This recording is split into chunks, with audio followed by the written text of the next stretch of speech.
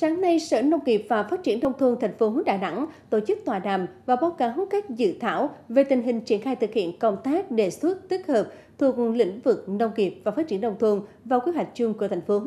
Chương trình có sự tham gia của các chuyên gia, nhà nghiên cứu đồng ngành và đại diện các sở ngành, đơn vị thành phố liên quan.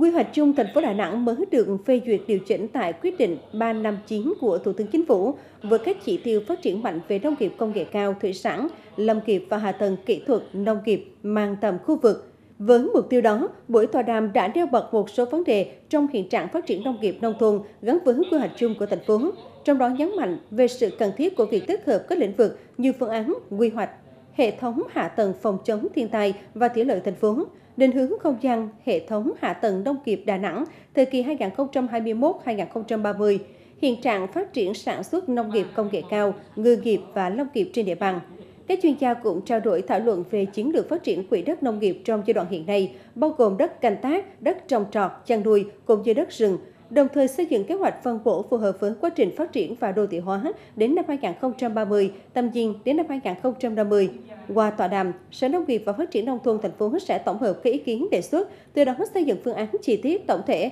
khi đưa các đề án nông nghiệp vào quy hoạch chung của thành phố.